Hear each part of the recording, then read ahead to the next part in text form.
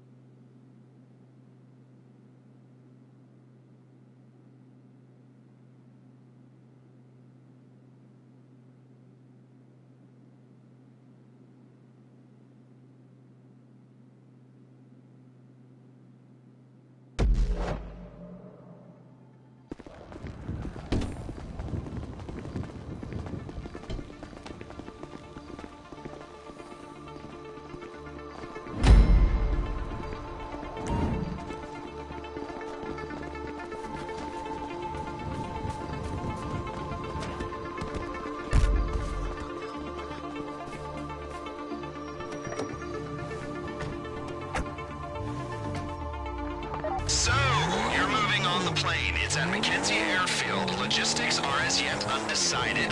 Go in how you like, but go in with a good supply of ammunition, armor, and maybe even explosives. It's gonna get kinda heavy.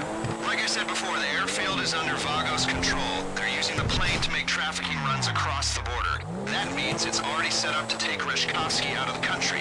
Limited radar visibility, plausible cover story. It's perfect. Don't let the fact that there are a bunch of angry drug dealers waiting for you affect how you go in, actually do.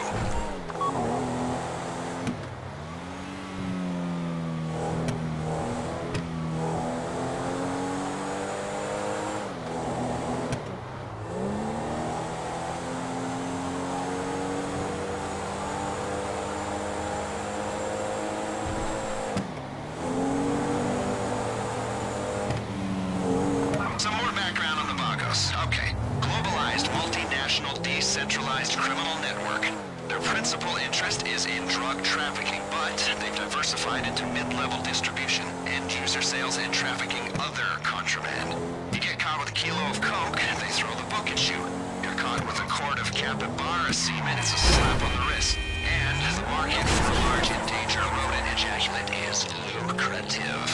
Most of the Vago's upper management, shot callers if you like, are already incarcerated States and throughout Central and Latin America. They run the network on cell phones and it's a relatively flat hierarchy at the top. So if you cut one head off, there's six more waiting to bite. Not that I want to dismantle any criminal networks. As you know, I'm a criminal myself. I just like to do my homework. C criminal homework. The prison angle's gonna help us sell our raid on Bolingbroke. It's not something that they would do, but it's the kind of thing the